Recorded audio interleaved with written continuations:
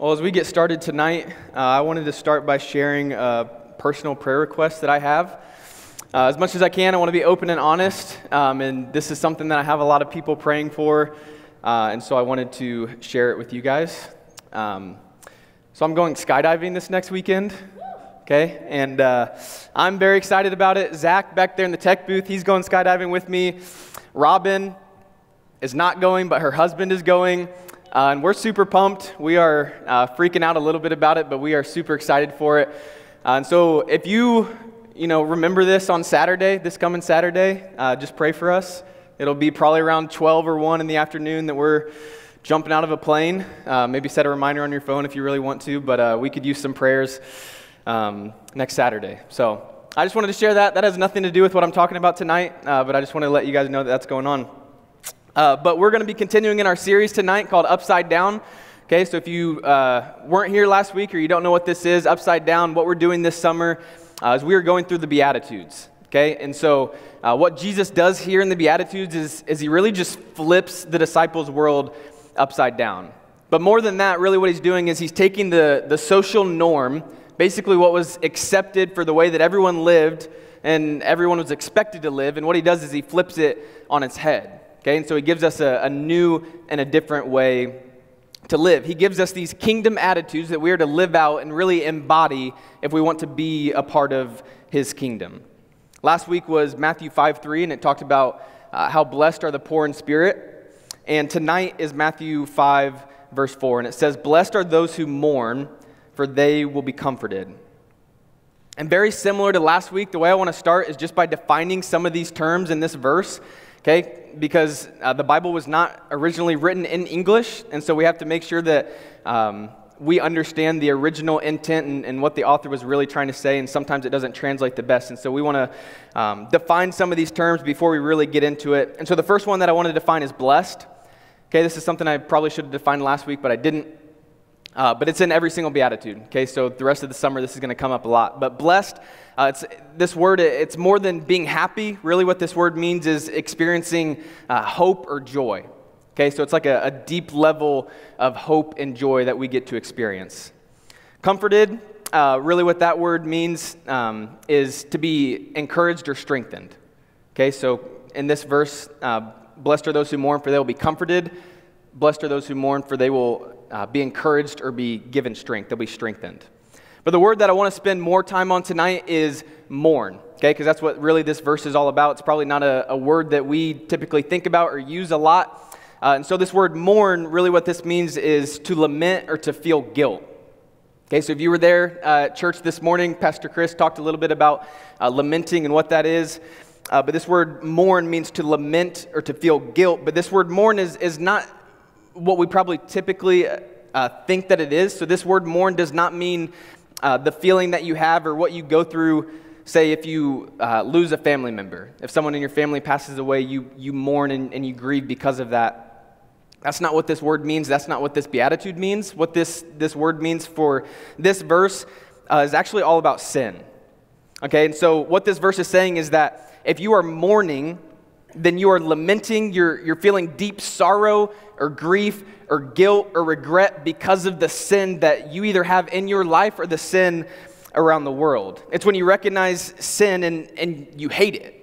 You don't want that sin in your life. You, you don't want it to be a part of who you are. You don't want it to be uh, anything to have to do with yourself. You, you don't want it to be in your life. You hate the sin that you see.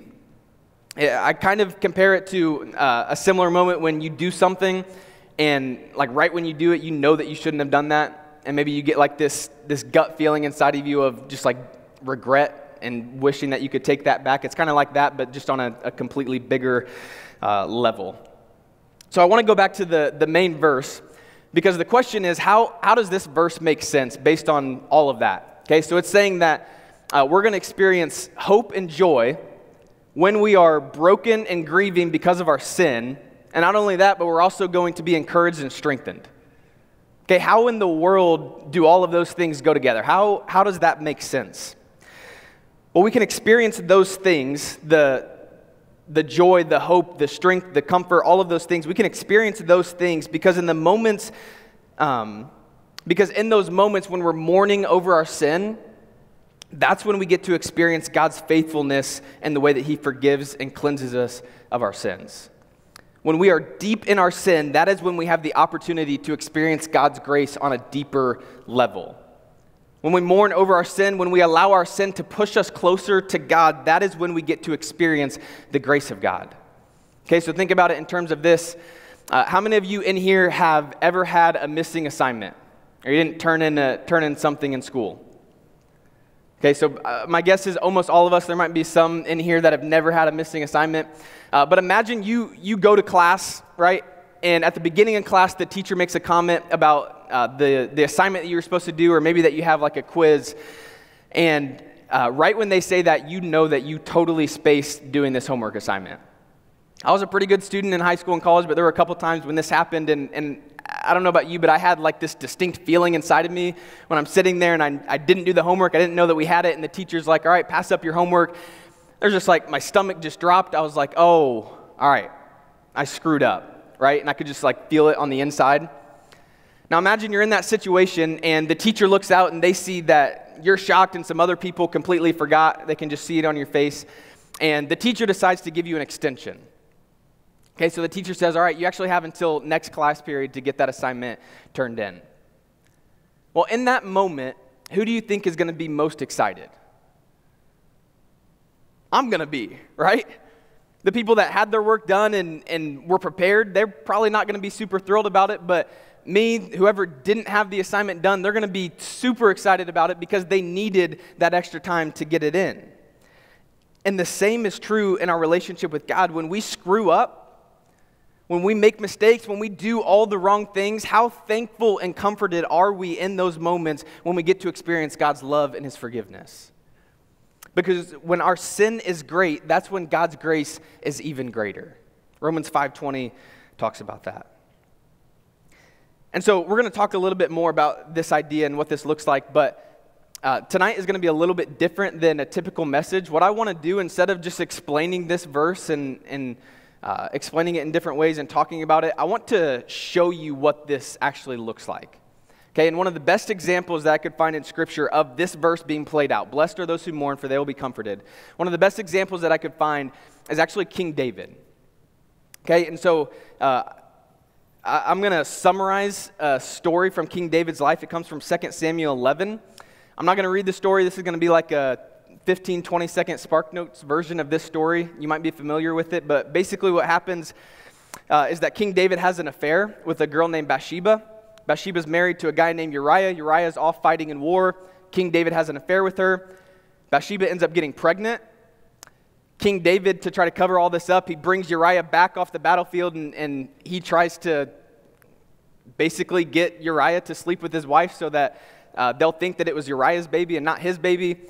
Well, that doesn't work. Uriah doesn't do that uh, because he wants to, to stay committed to the people that are fighting the battle. And so King David has Uriah killed. Okay, and that's like the 22nd version of that story. Okay, go read it, 2 Samuel 11. It's, it's a crazy story.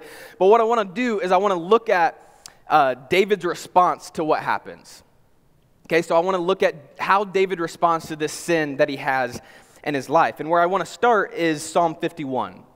Okay, Pastor Chris read a little bit of this this morning, uh, but Psalm 51 is where David is mourning over his sin.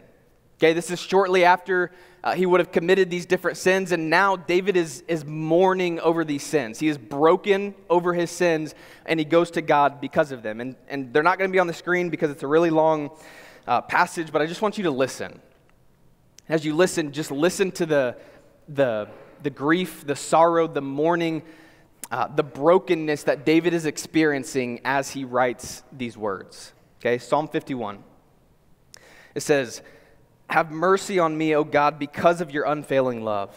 Because of your great compassion, blot out the stains of my sins. Wash me clean from my guilt, purify me from my sin, for I recognize my rebellion, and it haunts me day and night. Against you and you alone have I sinned. I have done what is evil in your sight. You will be proved right in what you say, and your judgment against me is just. For I was born a sinner, yes, from the moment my mother conceived me. But you desire honesty from the womb, teaching me wisdom even there. Purify me from my sins, and I will be clean. Wash me, and I will be whiter than snow. Oh, give me back my joy again. You have broken me. Now let me rejoice. Don't keep looking at my sins. Remove the stain of my guilt. Create in me a clean heart, O God, and renew a loyal spirit within me. Do not banish me from your presence, and don't take your Holy Spirit from me. Restore to me the joy of your salvation, and make me willing to obey you. Then I will teach your ways to rebels, and they will return to you. Forgive me for shedding blood, O God who saves. Then I will joyfully sing of your forgiveness. Unseal my lips, O Lord, that my mouth may praise you. And so David, he is completely broken because of his sin. You can sense his, his deep level of, of regret and guilt and sorrow that he has because of the sin that he's committed. He, he absolutely hated what he did. And I don't know about you, but I've been there before. Right? I've been in a, a moment like that. I've been in that place where I've sinned and I've messed up, and I, frankly, I've just hated myself for it. And I've thought to myself, what am I going to do? What am I going to do now? And this is where David was when he wrote Psalm 51. But now I want to read Psalm 32. Okay, and so this is important to note the Psalms, they were not written in, in chronological order, so they're not in the way that they were written. Um, and so Psalm 32 is actually the psalm that most scholars believe would have been the next psalm that David would have written. Okay, so he wrote Psalm 51, and then the next one, uh, or one of the next ones right after that, would have been this psalm, Psalm 32. And what I want you to notice as you listen is the change uh, in tone and mood, just the, the stark difference between the two psalms. Okay, so that first one is the first half of that, the beatitude that we're talking about, right? Blessed are those who mourn. David's mourning in Psalm 51. Psalm 32, he's receiving comfort. He's being blessed. Okay, so listen to the difference in this. It says, Oh, what joy for those whose disobedience is forgiven, whose sin is put out of sight. Yes, what joy for those whose record the Lord has cleared of guilt, whose lives are lived in complete honesty. When I refused to confess my sin, my body wasted away and I groaned all day long. Day and night, your hand of discipline was heavy on me. My strength evaporated like water in the summer heat. But finally, I confessed all my sins to you and I stopped trying to hide my guilt. I said to myself, I will, conf- I will confess my rebellion to the Lord, and you forgave me. All my guilt is gone. Therefore, let the godly pray to you while there is still time, that they may not drown in the floodwaters of judgment. For you are my hiding place. You protect me from trouble. You surround me with songs of victory. The Lord says, I will guide you along the best pathway for your life. I will advise you and watch over you. Do not be like a senseless horse or mule that needs a bit and bridle to keep it under control. Many sorrows come to the wicked, but unfailing love surrounds those who trust the Lord. So rejoice in the Lord and be glad, all you who obey him. Shout for joy, all you whose hearts are pure. Do you notice the difference? All right, it is a complete 180 complete shift. There's a complete difference in these two Psalms. And this is the beatitude perfectly played out in someone's life. This is what it looks like.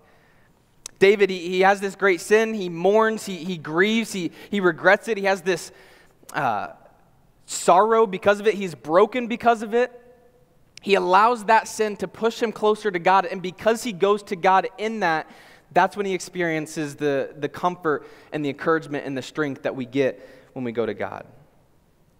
David's story in these two Psalms, they perfectly play out what this looks like. But now, what I want to do is, is give us some, some practical things for what this can look like for our life, how we can apply this beatitude for our life. I'm going to quickly touch on these, and this is going to be uh, mostly what you're going to talk about and discuss in your small group time. But the first thing that I want to say is that we have to recognize sin for what it is. Okay, if we're gonna we're gonna live out this beatitude, then we have to recognize sin for what it is. And here's what I mean by this: we have to recognize and understand that sin is deadly, that sin is destructive, that sin brings about pain. We have to recognize what sin does. James 1 14 and 15 says it like this it says, Temptation comes from our own desires, which entice us and drag us away.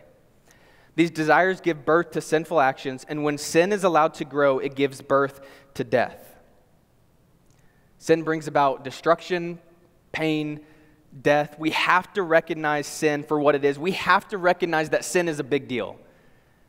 Okay, we have to recognize that sin is a big deal. And this should be something that we, we easily understand, Right? As followers of Jesus, we should easily be able to understand this idea, but the reality is that the, the world that we live in is normalizing sin. Okay? The world that we live in is normalizing sin because sin is, is just so common.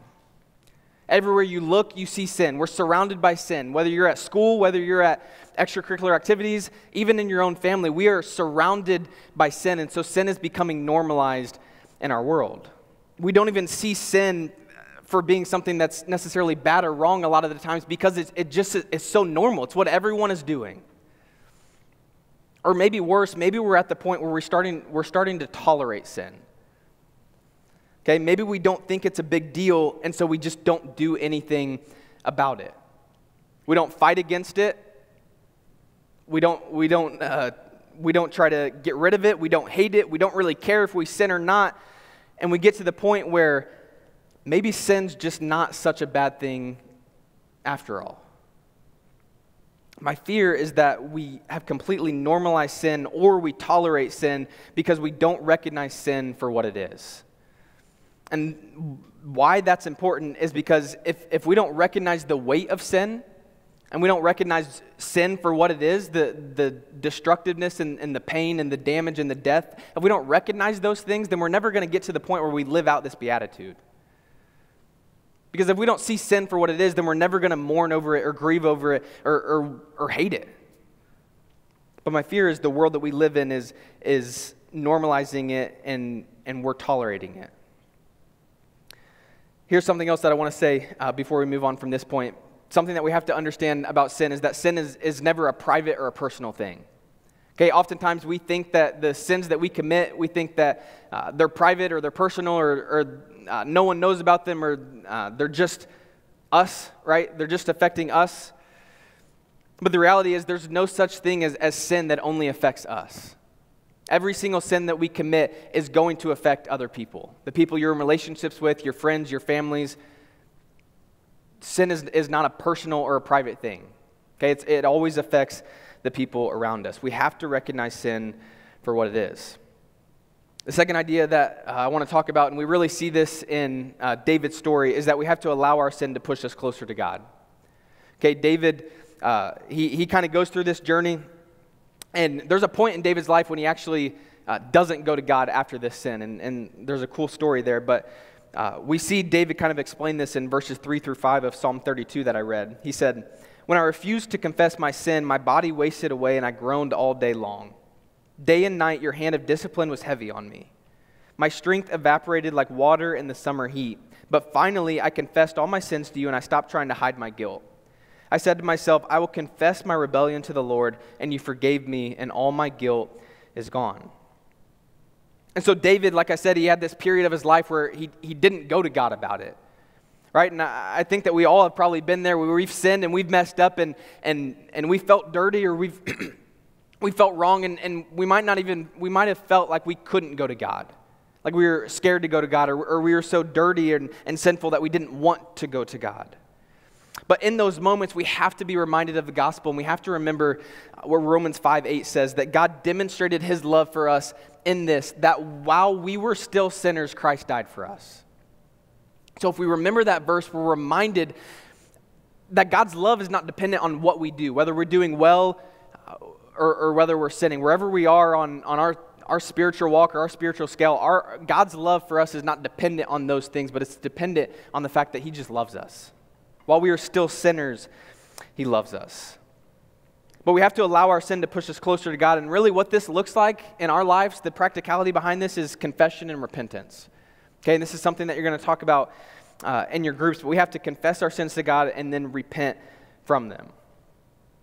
Um, 1 John 1 9. It says, But if we confess our sins to him, he is faithful and just to forgive our sins and to cleanse us from all wickedness. The comfort and the blessedness that our main verse talks, to, talks about tonight is all because of the gospel. Okay, it's only because of God's love for us and his grace for us that we can be blessed while we're, while we're feeling broken because of our sin. And uh, here's my last idea the bottom line something that you're going to talk about in groups is that as disciples of Jesus, remember, the Beatitudes are kingdom attitudes, things that we're supposed to be living out as disciples of Jesus. As disciples of Jesus, we have to get to the point where we truly love what God loves and we hate what God hates. We have to get to the point where we love what God loves and we hate what God hates. And so, my question is do you hate sin, or have you normalized or are you tolerating sin in your life? We have to love what God loves and hate what God hates. This comes from recognizing what sin truly is. But even in our sin, it's not losing sight of the gospel and the truth that where our sin is great, that's where God's grace is even greater.